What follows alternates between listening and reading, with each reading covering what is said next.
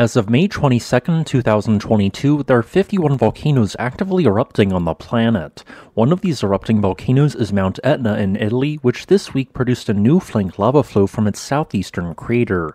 This crater represents the easternmost of four summit craters at Etna and sent a lava flow 2.6 kilometers to the east. With this being said, here are this week's major volcano related news stories. In New Zealand, Mount Ruapehu is continuing to show signs of unrest, resulting in the emission of a plume of steam from its central crater due to high crater lake temperatures. Meanwhile, in the Philippines, the Taal volcano has been displaying unusual levels of gas emissions which wildly fluctuate. And in Iceland, it is becoming increasingly likely that a new volcanic eruption will begin on the highly populated peninsula southwest of the nation's capital city. The volcano I'm referring to is known as Reykjanes, which is a loosely defined complex that covers several hundred square kilometers of ground on the peninsula. It consists of a cluster of low prominent shield volcanoes, spatter cones, cinder cones, and explosion craters, which coat a large swath of land and black basaltic lava flows. Reykjanes is one of four separate volcanic complexes which makes up the majority of the Reykjanes Peninsula, which exists due to a major plate boundary running through the vicinity.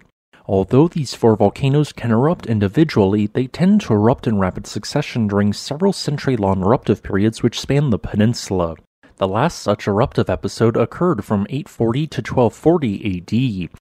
Local scientists now believe the peninsula is once again in a prolonged eruptive period which began in early 2020. That year, a series of three magmatic intrusions with a volume of 1 to 3 million cubic meters of magma occurred southwest of the Svartsengi geothermal power plant.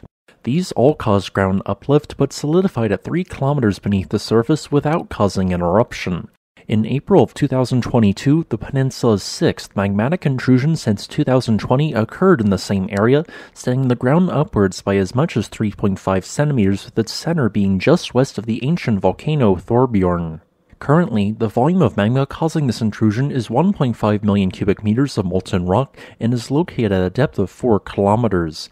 Based on its location, it could produce a new eruption over an 8 kilometer long stretch of ground, which in a worst case scenario would send a thick lava flow into the populated city of Grindavik.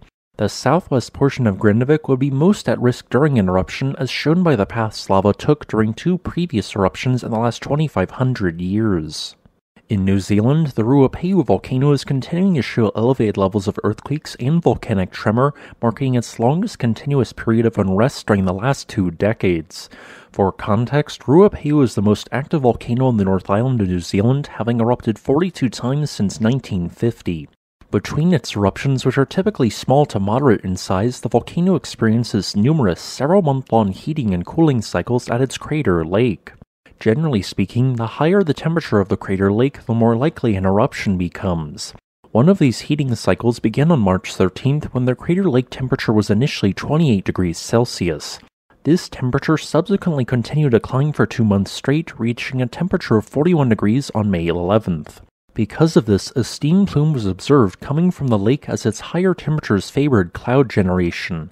However, since then, the crater lake temperature has declined along with earthquakes and gas emissions. Given its current yellow alert level, a new volcanic eruption could theoretically occur with little warning, but is less likely to do so given a decline in activity.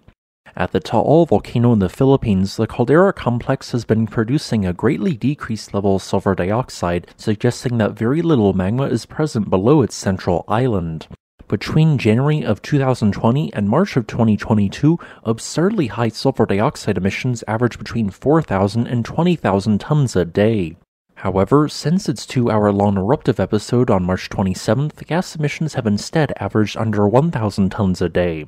Although one spike in emissions did occur on April 29th, this volcano is unlikely to produce a major explosive eruption for at least the next several months. Here is a quick list of every volcano which is currently erupting. Also, here are some volcanoes showing signs of unrest which are not erupting but could erupt in the near future. Thanks for watching. If you would like to request a specific topic, please leave a comment below. Additionally, I would like to thank my new patron Gary Steele for supporting this channel.